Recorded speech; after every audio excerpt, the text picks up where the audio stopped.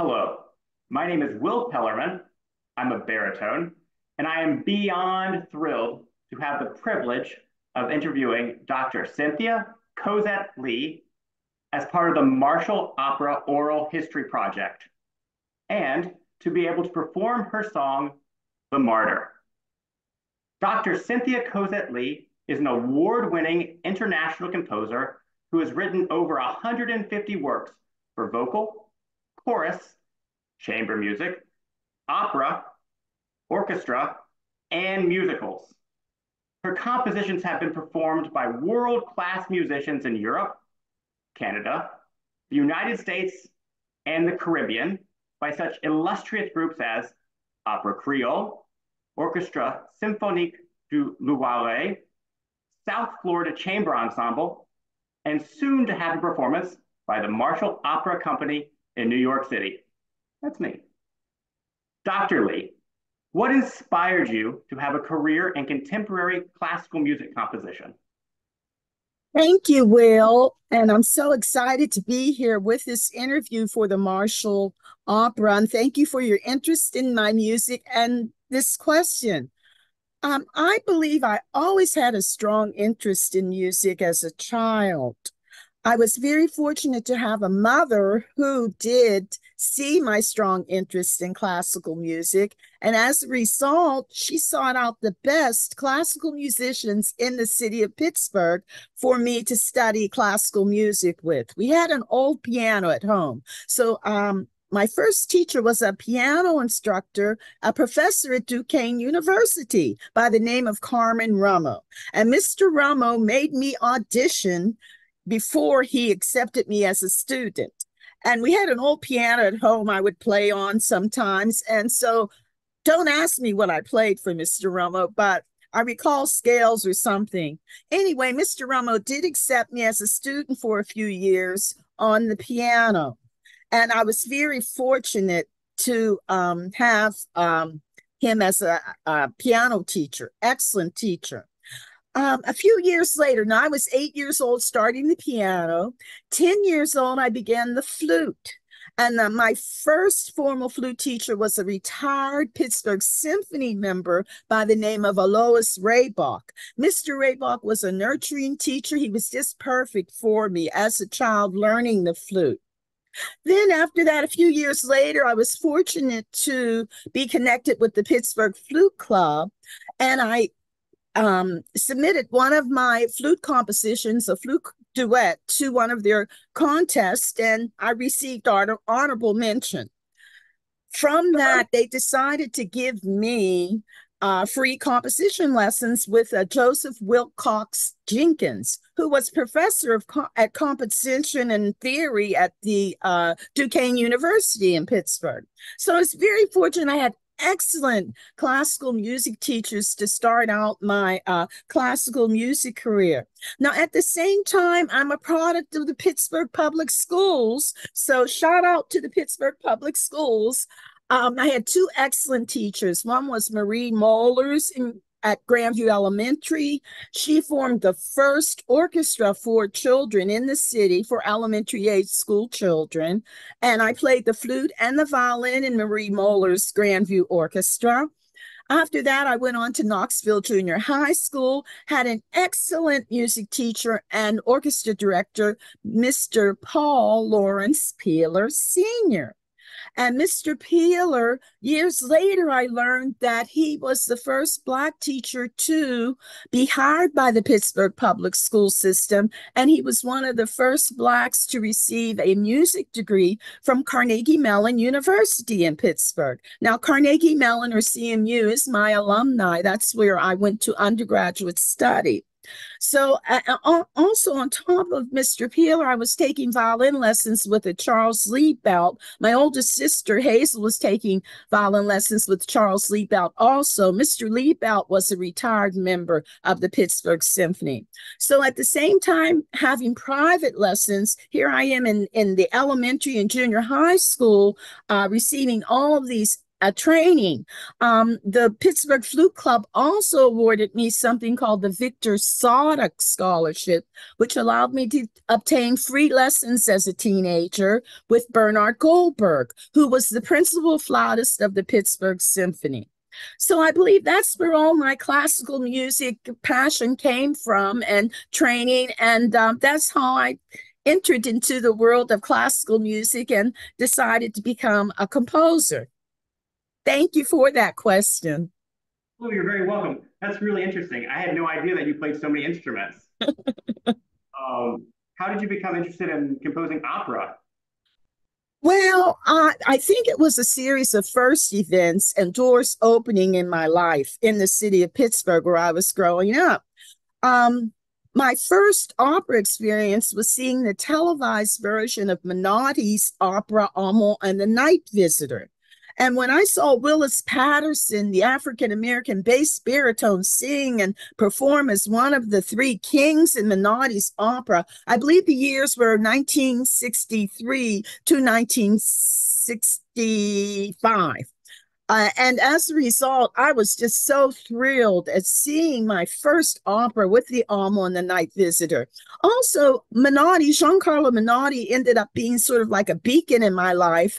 Um, he was a very well known, and he could not only write music, but he wrote his own libretto for all of his operas. And that was sort of unusual during that time period for a composer to come along, even though Wagner did that uh, in during the Romantic period. But um, Mr. Menotti was very talented.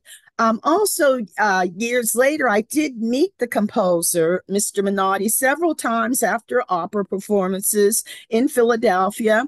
And also, he taught at the Curtis Institute of Music. And occasionally, I would accidentally bump into Mr. Menotti um, in the Rittenhouse Square Park at some times. Now, meanwhile, at Carnegie Mellon, I studied with a Roland Leich, who was classmates with Giancarlo Menotti and Samuel Barber when they were young students at the Curtis Institute of Music. So when I met Mr. Menotti, I would always say, "Oh, Mr. Menotti, you know, I'm, I'm a former student of uh, of uh, Mr. Leich," and he said, "Oh, Roland, tell Roland to write me." So um, apparently, my teacher, Mr. Leich, and Mr. Menotti kept a lifelong acquaintance um, because of that. But um, I was really excited to to see that first opera by Menotti. Another first experience was seeing my first live opera, and that was with the Pittsburgh Opera. I was fortunate to know the daughter of the lighting and stage director for the Pittsburgh Opera, and I would volunteer at times to be on the properties committee. Well, I was backstage and I would see the singers rehearsing. I would see the wardrobe and costume, the lighting and the stage crew, a prompter usually. Sometimes the conductor would come backstage. There were musicians, and this all just excited me. And oh, I was so impressed. I said, hmm, I think one day I'm going to be a composer of operas. But the only thing that was missing, Wil, was I didn't see many black characters. I had heard about Willis Patterson. I had heard about um, Marian Anderson being opera singers, but I really wasn't seeing it. So I decided, hmm, well, when I grow up and I write operas, I'm going to try to concentrate on black themes and stories. So that's sort of where all the opera experience came from. And uh, I'm very fortunate to have that rich experience growing up in Pittsburgh. It was very impactful for me me. And uh, thank you again for asking that question also. You're very welcome. Well, um, can you tell us the story of the song, The Martyr? Well, The Martyr began as a poem. A poem written by my older sister, Dr. Hazel Ann Lee, who is an accomplished writer and poet. Uh, Hazel went to an exhibit at the uh, Auguste Rodin Museum in Philadelphia. Rodin was a famous French sculptor, and there's a an uh, a statue there titled "The Martyr." Hazel decided to write a poem about it. A few years after that, I set the poem to music in an art song. Now, um, the art song I decided was to create for a baritone voice. I, I was going to do soprano. I said, no, no, no, the martyr's going to be for a baritone voice. So I included this song, The Martyr, in a series of other songs in a song cycle titled The Three Tributes. Well, after that, I said, hmm, that martyr is very powerful. Why don't I create an orchestral version for the martyr where the baritone is singing with the full 100 piece orchestra. So the next project I did was setting the martyr to uh, music with orchestra accompaniment. I submitted this score and took a Mu Phi Epsilon. It was music sorority back then, it's fraternity now national composition contest and won second prize. The judge of the competition gave the martyr second prize. And I was just thrilled, particularly when I um I had submitted the work anonymously. You had to cover your name, and he did not see my name or know who I was. The judge was Dr. George Walker, who later, years later, became the first Black who received the Pulitzer Prize in music. And I was also thrilled because Dr. Rocker attended the Curtis Institute of Music as a youth, and he studied under someone by the name of Rosario Scalero. Now, Rosario Scalero is a very important figure in composition history, and I'm going to give you a little history lesson to explain why. Um, I had two professors who went to Curtis Institute of Music and studied under Scalero. That was Roland Leich, as I said already, at Carnegie Mellon, who was at Curtis with Menotti and Barber. A composition professor at the University of Pennsylvania, George Rochberg, was a student at Curtis under Rosario Scalero. During the first half of the uh, 20th century, many young composers sought after Rosario Scalero as a composition teacher because there was a student teacher lineage or relationship going on historically that led all the way to the period of Franz Joseph Haydn. And I'm going to explain further. Rosario Scalero was a student, a composition student of uh, Eusebius Mandyczewski. Eusebius Mandyczewski was a musicologist and a composer, and also a personal friend of Johannes Brahms and his music copyist. Johannes Brahms studied with a German composer by the name, or Austrian, uh, by the name of Edward Marxsen. Edward Marxsen was a student of a Ignaz von Seyfried, and von Seyfried was a student of Mozart Mozart was a student of Franz Joseph Haydn, or we call him Papa Haydn, or the founder of the symphony. So Rosario Scalero sort of represented, if you ha- you have grandparents and everything, well, he sort of represented maybe the fourth or fifth grand grand grand grandson composition student from the time of Franz Joseph Haydn. And this was a German school of composition that was coming down. And I won't go into that because there are French schools of composition, there are Italian schools, but um, basically Rosario Scalero was known for that. And I just felt so fortunate when Dr. Walker chose my piece, The Martyr, as an award. Now, I'm not finished with The Martyr, back to The Martyr. So after that, a few years later, my sister and I wrote an opera, uh, Partway to Freedom, uh, a Civil War opera based on the uh, life and inspiration of my great grandfather, Warren Garner, who fought in the United States colored troops during the American Civil War. And the martyr had such a powerful message. We said, hmm, why don't we take it and turn it into an aria for this opera? Now, the difference between an uh, uh, an art song and aria would be normally an art song, as you know, as a singer, is for voice usually piano traditionally, although today in contemporary times, it can be for other accompaniments. The aria is a longer song. Um, it's usually a little bit more demanding than an art song for a singer. And then traditionally, it would be accompanied by a full orchestra or a chamber orchestra. So we decided to place the martyr into, it went from art song to um, aria in the opera. We added some verses also. So that's sort of the story of the martyr. and thank you for that question also. um, what advice would you give to young upcoming composers? Oh, okay. Well, um, that that's a very good question. You know, I've written four operas. Uh, two I wrote my own libretto to, and that was Aida and the Black Guitar. Uh, part of the Aida has been performed by the Opera Creole in New Orleans. They did do an excerpt of Aida last year. And then I have two operas I collaborated with my sister with the libretto, Hazel, my older sister, and they are titled, I said, the Partway to Freedom. And also the um, opera we're working on that's in progress is Let Courage Be the Light. Well, the advice I would give to any composer of any age, uh, upcoming or however, I would just tell you to be yourself, believe in yourself. Um, you have to realize music is a universal language. You can communicate with music anywhere in the world. And as a composer, you have a very important place in all of this. Um, you may have to try different styles or different genre, genres, excuse me, but it's about finding your own voice in music.